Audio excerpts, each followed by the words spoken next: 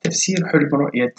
زواج المرأة المتزوجة لابن سيرين وما معناه تفسير رؤية المتزوجة أنها تتزوج من غير زوجها في المنام فهذا خير يأتيها ويأتي لزوجها. وتحقيق للأمان والأمنيات. وارتداء فستان زفاف وحياة جديدة وفي كل الحالات هو خير يعم على جميع أفراد الأسرة الزوج والزوجة والأبناء، أما إذا رأت المتزوجة في المنام أنها تزوجت بشخص معروف لها وهي في الحقيقة متزوجة فهذا ربما يدل على خير يأتيها ولزوجها، وقد تدل هذه الرؤى على حملها وإنجابها ولدا قريبا،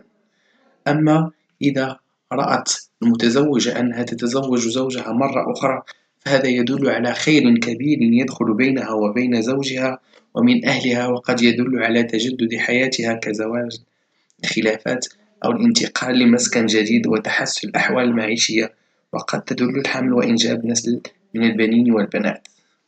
أما تفسير رؤية متزوجة من رجل كبير في السن كبير في السن يدل على شفائها من المرض إذا كانت مريضة. وإذا كان العريس مشغولا على أمنية سوف تتحقق ورؤية زفاف المرأة الحامل يدل على ولادة مولود ذكر ورؤية تفاصيل فرح العرس والموسيقى قد يدل على حدوث شغل،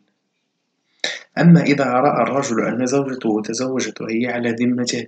على خير كثير سوف يتحصل عليه وقد يدل على ترقية أو وظيفة مرموقة ولا تحسن الأحوال المعيشية، تفسير حلم أختي المتزوجة عروس.